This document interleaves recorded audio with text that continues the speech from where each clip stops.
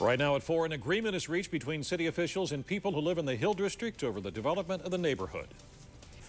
Well, people who live in the Hill District have been waiting on a community development package for nearly 50 years. They were promised one when the Civic Arena was built, but it never happened. Well, today they signed a deal, and Keith Jones has more.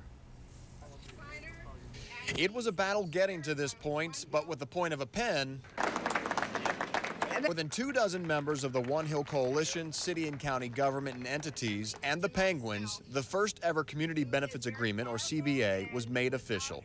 More than 100 community members gathered at Freedom Corner for the ceremonial signing. $8.3 million in development headed this way.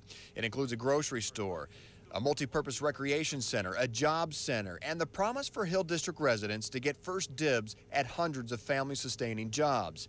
Chairman of the One Hill Coalition, Carl Redwood, admits the community learned from its mistakes when the first arena was built, a time when there was a lot of community infighting.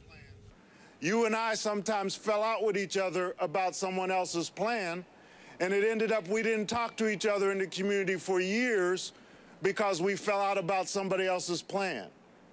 We need to move from being reactive to being proactive. Promises were broken back then, but the Penguins promise now to be a productive part of the community.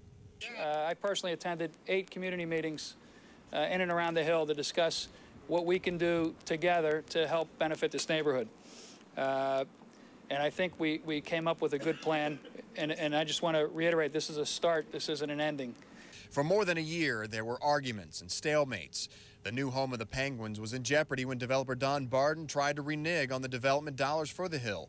Mayor Luke Ravenstahl credits the Hill community for its perseverance. There was clearly some divide at the beginning of this process in the Hill District community. Uh, they were able to unite, and to their credit, we're here today as a result of their ability to unite uh, and speak with one voice and talk about what's important to them. Sure, there will be people that will say this should have been in there in addition, uh, and we understand that. One item in this master plan, which was reinforced today, not just by the mayor, but also the One Hill Coalition, is that residents here in the Hill District will get preferential treatment when it comes to applications of those new jobs created by the development. That includes the Pens' Arena, the Y YMCA, which plans to set up shop here. Also, that new grocery store. And for decades, the Hill District residents have really fought to get a grocery store to come here. Well, now there's not one, but two that are trying to bid against each other to come here to the Hill District to set up shop. Perhaps a good sign of things to come here in the Hill District. From Freedom Corner, Keith Jones, KDKA TV News.